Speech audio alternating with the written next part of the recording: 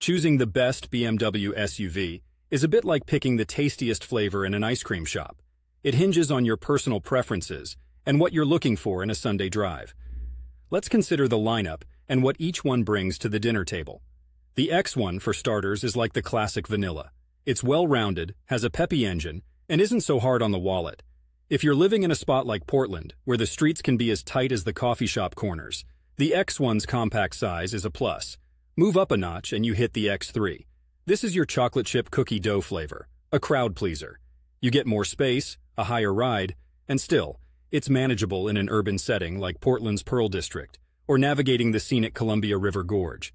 Then comes the X5, the rocky road of BMW's SUVs. It's a step up in luxury, offers more room, and frankly, it just feels more robust. It's the kind of ride you'd appreciate if you're hauling stuff to a weekend escape in the Cascades, with enough tech to keep the city slicker and you content.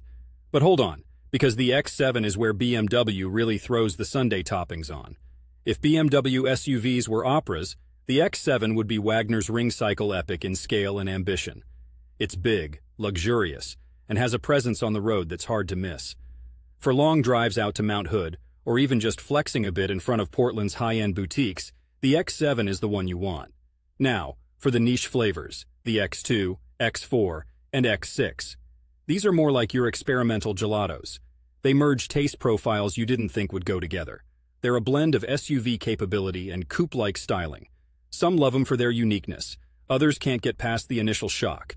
In the end, if you forced me to pick just one cone, er, I mean car, the X3 strikes the best balance. It's practical enough for a trek to the gorge, dressy enough for upscale Portland areas like Nob Hill, and it's got panache, a word I don't use lightly.